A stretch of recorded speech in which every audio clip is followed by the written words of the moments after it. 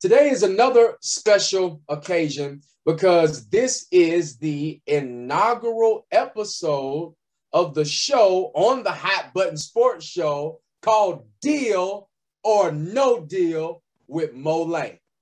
It's very simple. I'm going to ask Mo a set of questions. He's going to give me his honest answer and opinion. And I'm to tell him if we got a deal if we don't got a deal. But most importantly, you get a chance to get involved because I want to know in the comments does he have a deal or is he out of deals? Will it work? Will it not work? And we're going to switch it up as the weeks progress. There are going to be times he going to ask me my opinion on some things, and I'm to give him my answer, and he to give me a deal. Uh, he ain't to give me the deal at all. Uh, so that's how that's how we rocking. Deal or no deal. Let's get right into it. And the first question I got for Mo Lane centers around the number one draft pick, the first pick in the NFL draft from this previous draft, and that is Trevor Lawrence. And my question for you, Mo, is this Will Trevor Lawrence have the best game up until this date of his career against the Bengals on Thursday night?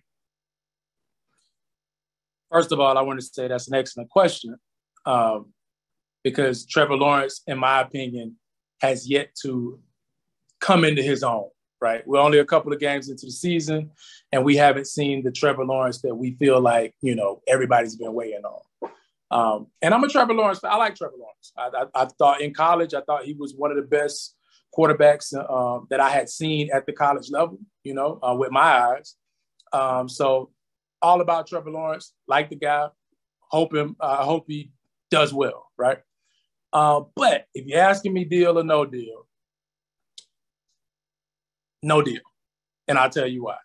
Uh, he can have a good statistical outing and he might have a decent game, but I wouldn't necessarily say that he's going to have the best game of his career. And let, let me go a little bit deeper.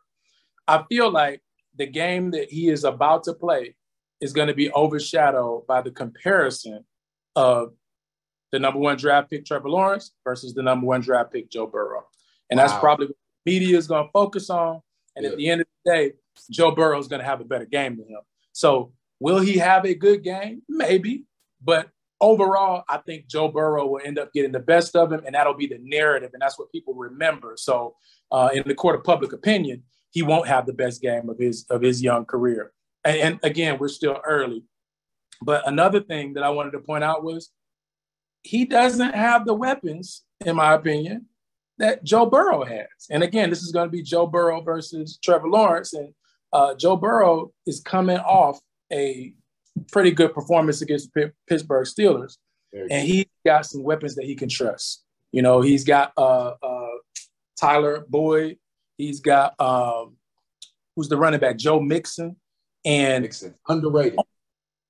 Yeah, and on top of that, he has a strong defense, a defense that's only giving up what you know, ten or fifteen points probably a game, and that's the defense that Trevor Lawrence is going to be facing. So uh, I don't think he'll have he'll have a decent day, but it won't be better than than the first couple of you know three three games that he's played. So no deal for me. And you know what? I have to agree. I agree. Will Trevor Lawrence have the best game of his young career? Nah, man. No deal. No deal. And for the exact same reasons that you brought up, first of all, the Jaguars are the worst team in the NFL. You know, I didn't want to say it. I didn't want to. I didn't want to go out and, and just.